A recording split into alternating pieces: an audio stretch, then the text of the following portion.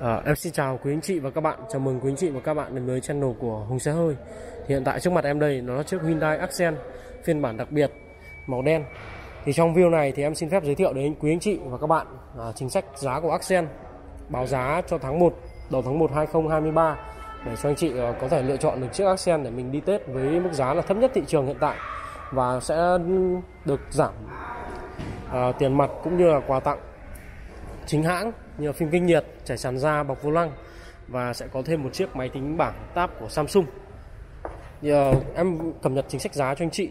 Ờ, uh, Accent phiên bản đặc biệt thì giá niêm yết của chiếc xe này là 545 triệu đồng. Và hiện tại chính sách giá của hãng thì đang được giảm khoảng 46 47 triệu. Uh, chiếc xe chỉ chưa đến 500 triệu và được tặng những quà tặng khuyến mại như em vừa kể trên. Thứ hai là đến phiên bản Accent bản uh, tự động bản thường. Thì ờ, về giá niêm yết là 504 triệu và hiện tại thì giá bán thì nó rơi vào tầm độ khoảng gần 470 triệu. Đó. Thì với ờ, giá lăn bánh của bản đặc biệt ở Bắc Ninh thì em cứ tính cho anh chị là khoảng ờ, 560 triệu. Vâng khoảng 560 triệu và phiên bản à, tự động bản thường thì khoảng uh, 500 522 triệu ạ. Vâng, thì nó khoảng 522 đến 560. Thì uh, anh chị có thấy là, là mức giá rất là tốt, tốt nhất tại thời điểm từ lúc Accent ra mắt đến tận bây giờ. Thì về cái những cái ưu điểm của phiên bản uh, đặc biệt này, các cái công nghệ vượt trội có thể kể đến như là gạt mưa tự động này, uh, đèn tự động, hệ thống đèn tự động, pha cốt. Đây là pha cốt uh, halogen kiểu chiếu uh, projector bi halogen có hệ thống đèn chiếu góc hỗ trợ vào cua cực tốt.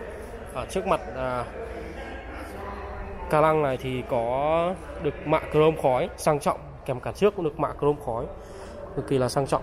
La răng của chiếc xe này đó là la răng 10 uh, 6 inch. À, cho phiên bản đặc biệt và 15 inch cho phiên bản tiêu chuẩn. Và chiếc xe được trang bị ghế da cũng như là cửa sổ nóc. Cửa sổ trời vâng.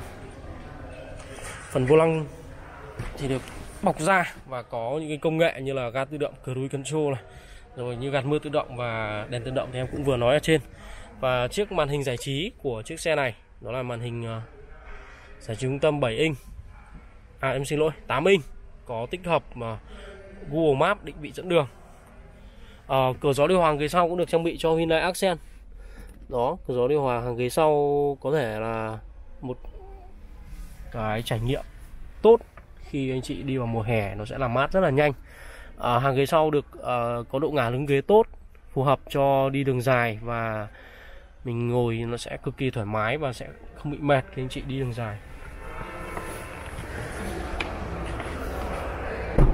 Về phần uh, cốp sau thì anh chị có thấy chiếc xe được trang bị với chiếc cốp rộng vâng, rộng gần nhất phân khúc nữa đó chiếc cốp rộng thì tiện lợi khi anh chị mang ờ, được nhiều hành lý cũng như là để được nhiều đồ vật khi mình cần di chuyển đi xa. Đây là chiếc lốp dự phòng của xe lốp zin theo xe.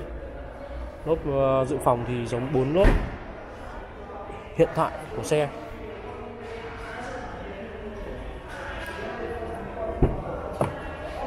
Và số túi khí của bản đặc biệt này thì là 6 túi còn bản à, tiêu chuẩn thì chỉ được trang bị hai túi cho nên là những cái ờ, về phần giá thì hai bản này thường thường sẽ lệch nhau khoảng khoảng ờ, gần 40 triệu như vậy. Những cái màu xe em sẵn giao của ờ, Accent như là màu đen màu đỏ em bán giá cực kỳ là tốt. Và màu trắng thì phiên bản tiêu chuẩn mà em cũng có sẵn giao cho anh chị. Thì anh chị quan tâm về Accent thì xin lòng liên hệ số điện thoại em để trên màn hình. À, em cảm ơn anh chị đã theo dõi video. Xin chào và hẹn gặp lại anh chị trong những video tiếp theo.